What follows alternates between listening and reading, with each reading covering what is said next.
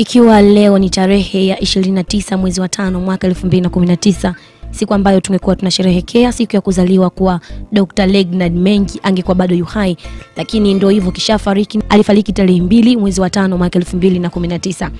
Leo asubuhi mke wake Jacqueline N Mengi ameposti katika ukurasa wake wa Twitter maneno ambayo yana huzuni na ni maneno ambayo tunaamini kwamba yanamuumiza kwa sababu amempoteza mtu aliyempenda sana, mumewe ama mpenzi wake wa moyo, Dr. Legnard Mengi ama kiongozi wa IPP. Katika ukurasa wake huo wa Twitter ameposti maneno haya: leo tungekuwa tunakufurahia, nikifumba macho yangu naona ulivyokuwa unatabasamu tulipokuwa tunaimba wimbo wa siku yako ya kuzaliwa.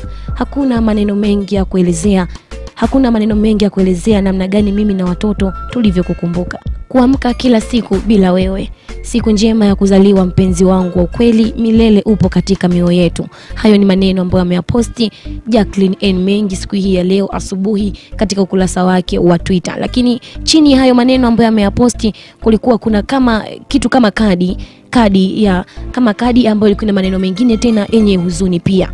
Maneno hayo yalikuwa ni hatuwezi kuwa pamoja tena, lakini nataka ujue kuwa kila siku upo akilini mwangu.